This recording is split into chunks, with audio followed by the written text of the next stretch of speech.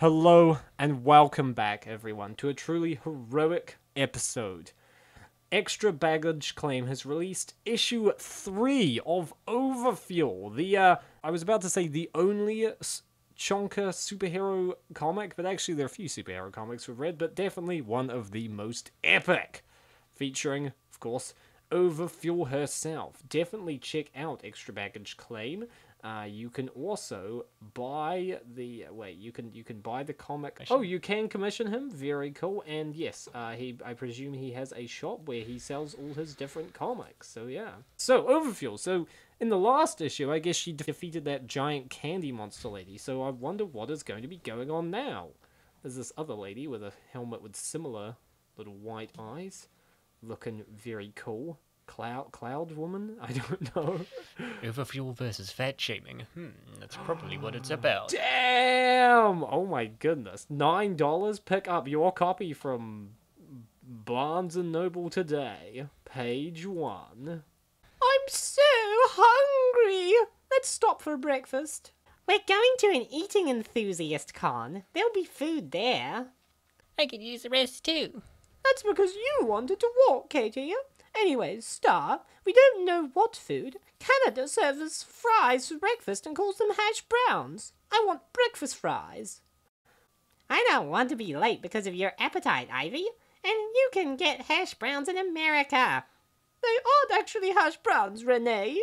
They're fries served with every breakfast. Pretending to be hash? What's that sound? Ooh. Wait, they've got like like moving chairs. That's Yeah, pretty mobility membrane. scooters.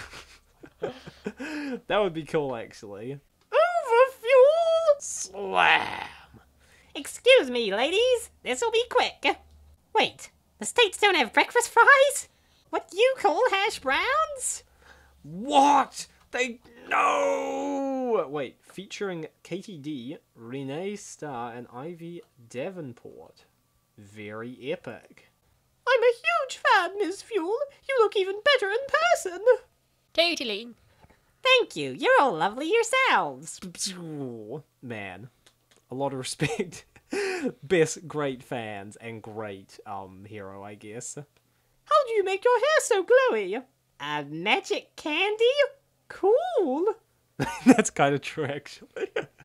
Nice to see a girl our size kicking bottom in the limelight.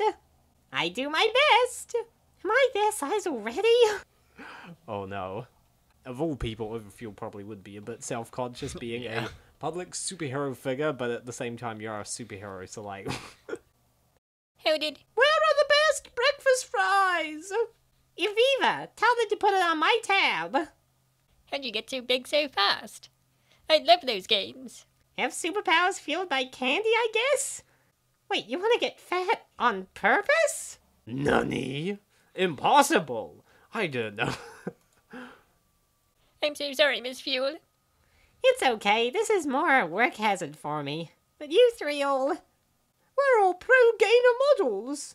Wait, so people pay you to get fat? Pretty sweet job. Yeah, but we enjoy it too. You can find me as Ivy Davenport, at Hot Fatty Girl on Twitter, or SSBBW Ivy and Friends on Clips for Sale. Thank you for the sources, Melissa. the sources lady. Are these legitimate people? I, I don't know, actually.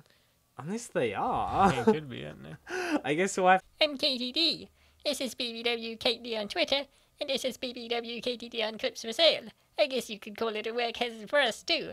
Just a more fun one. I guess I guess that's true. That was an interesting work hazard. I, maybe these people are real. I don't know. I'm Renee Fox, Renee Star on Twitter, and SSBBW Renee Star on Clips for Sale. We were actually on our way to a con if you want to tag along. Oh my gosh, they are real people. What the heck? Uh. Forgive me if I've been getting their voices complete. Oh my.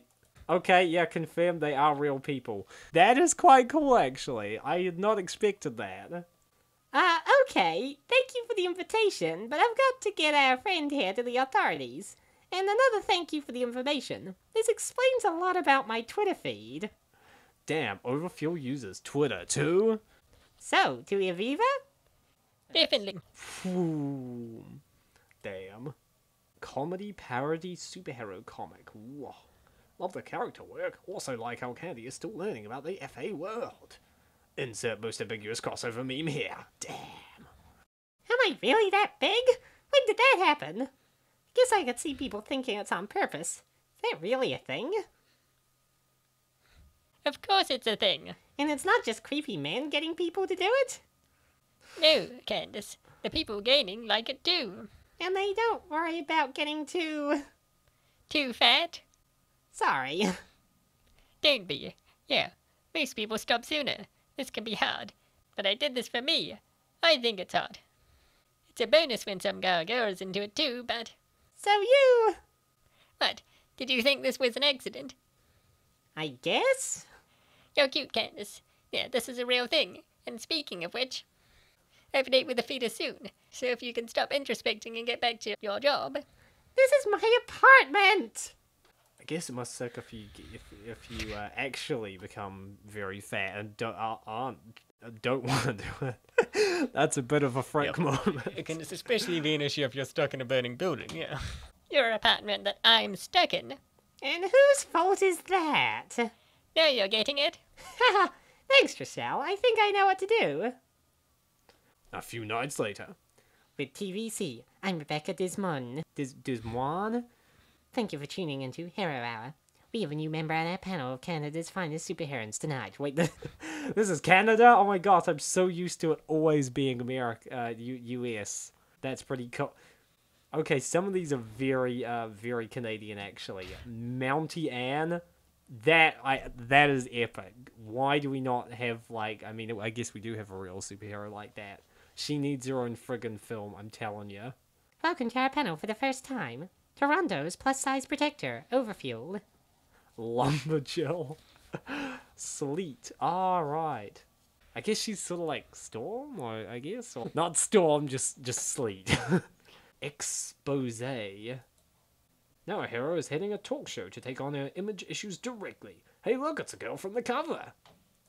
Ms. Fuel, what's it like being a larger woman as a hero? Well, it isn't always easy. My powers have made me gain a lot of weight, and it comes with some difficulties. Like finding an outfit that still covers your body? Excuse me, I'm wearing an outfit that lets me move and look heroic. Exactly, heroic. Heroes are supposed to represent ideals and be a beacon of excellence. Putting yourself on that level is just glorifying obesity.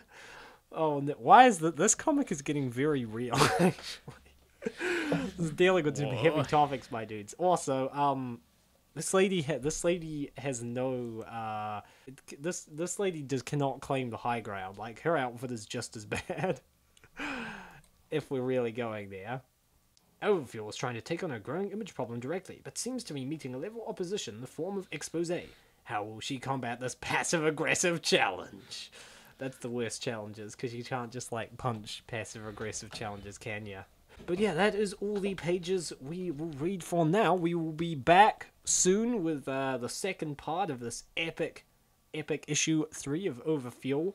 Definitely check out each extra baggage claim. They have some very epic stuff. Upload uh, regularly and just yeah. If you're definitely looking for some less anime looking sort of stuff, more of the sort of realistic style and some large sizes, I guess. Um, very very cool content. Well done as always. And yeah, I'm I'm interested to see the where this one goes. This is yeah definitely uh definitely leave a like and uh, tune in tomorrow. See you all.